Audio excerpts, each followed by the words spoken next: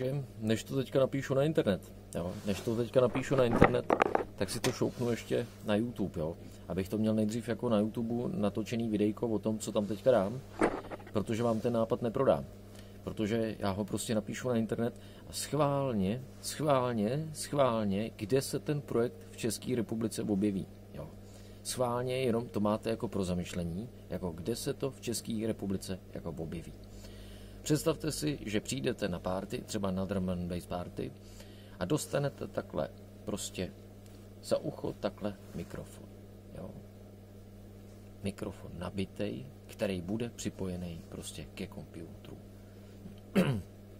a teď vám tam ten DJ pustí prostě nějakou music a všichni lidi, když přijdou jako na plac, jo, bude třeba to někdo vymyslí, že přijdou jako na plac, tak prostě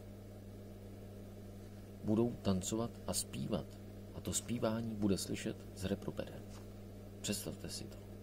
Že třeba přijde na párty 50 lidí nebo 100 lidí, začnou a pojedou bomby a občas do toho někdo něco řekne. Jo. Tak schválně, kdo na takovouhle párty, jako v České republice má, kdo umí takhle třeba mluvit do digeny, jo, jako doopravdy. Jo. Tak schválně.